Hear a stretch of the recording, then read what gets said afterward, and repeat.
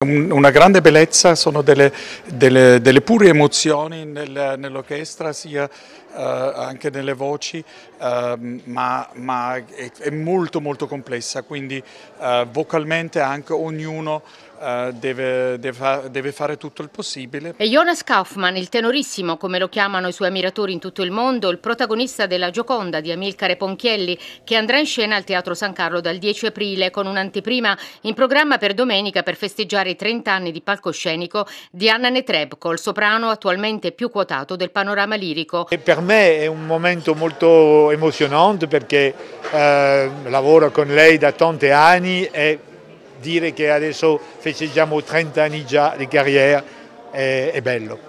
Con loro un altro grande nome, il baritono francese Ludovic Tézier. In scena anche Evmo Hubo che sostituirà Anita Rashvelishvili, inizialmente prevista nel ruolo di Laura. La Gioconda, capolavoro di Ponchielli, fu rappresentata per la prima volta nel 1876 al Teatro alla Scala a Milano, libretto di Arrigo Boito, vicenda ispirata ad un dramma di Victor Hugo, ambientata in una Venezia seicentesca.